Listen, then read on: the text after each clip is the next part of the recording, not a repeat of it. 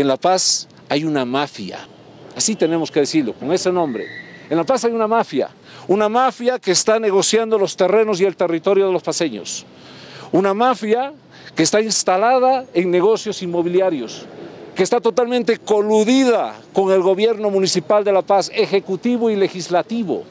Y por eso hemos pedido esta información para poder denunciar con documentos.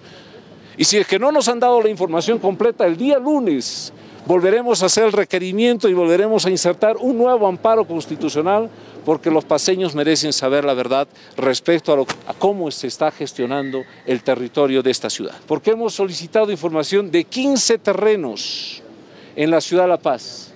15 terrenos donde ya se están haciendo construcciones ilegales fuera de norma.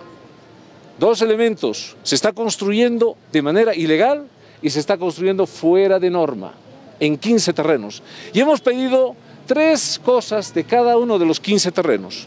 Primero hemos pedido que se nos diga quién es el propietario de esos terrenos, si es el municipio o es un privado. ¿Por qué nos interesa saber eso? Porque están construyendo en terrenos municipales, están edificando en terrenos municipales, señores donde se tenía que construir un hospital, una escuela, una cancha, un espacio deportivo, un parque, ahí hay edificios. En terrenos de todos los paseños ha ido un aprovechado privado y le ha metido un edificio. Por eso queremos saber de quién es propiedad de esos terrenos, porque el municipio tiene responsabilidad de cuidar por los terrenos municipales, por los terrenos de La Paz.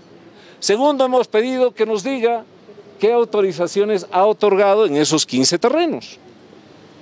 ¿Se ha dado autorización de 8 pisos, o de 10, o de 12, o de 15, o de 20 pisos, o no ha dado autorizaciones? Porque sabemos que en muchas de, estos, eh, de estas construcciones no hay autorizaciones,